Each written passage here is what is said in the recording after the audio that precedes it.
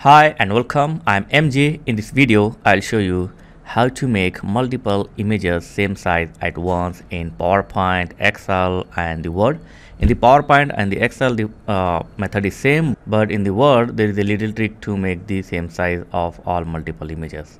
So let's see in the PowerPoint. So in the PowerPoint, I have a lot of images and their size is different as you can see so to make a same size of all images just select the all images like this by pressing ctrl a and then right click on it and click on size and position.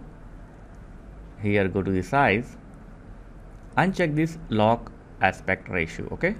And now in the height and width type you are required size of photos. I will take 3 by 3 and that's it.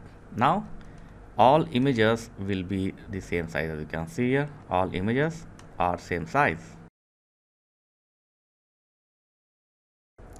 But sometime uh, it might be stretch your photos okay? So this is how you can do it in PowerPoint. Now in, in the Excel so I'm going to copy all the picture here like this. Look at that all picture in different size. So do the same thing.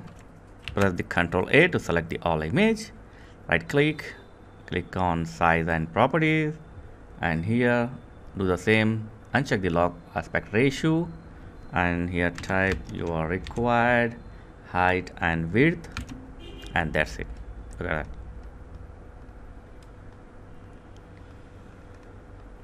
Yeah but in the word there is a little tricky method to use it okay?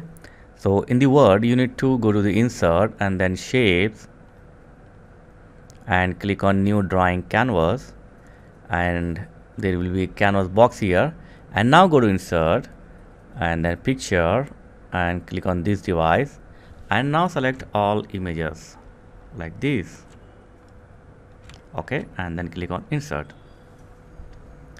So the picture is selected and select the all images once again. Right click on it and click on more layout option and here go to the size. And uncheck this lock aspect ratio. Now type your desired size like height and width. I will take 2.5 and the width I will take 2.5 and click OK. So now all images will be on the same size. And the next task is how to take this all picture out of the canvas. So for this select the all images and then cut the images. And keep the cursor out of the canvas and paste here and then you can delete your canvas box like this. Yeah? Yeah it's little tricky in word to apply the same size to all multiple images but yeah we have to do this. Look at it all are in same size. So this is how you can do in word excel and powerpoint.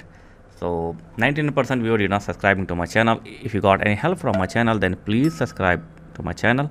So thanks for watching guys. Catch you next video. Please like share and subscribe. Thank you very much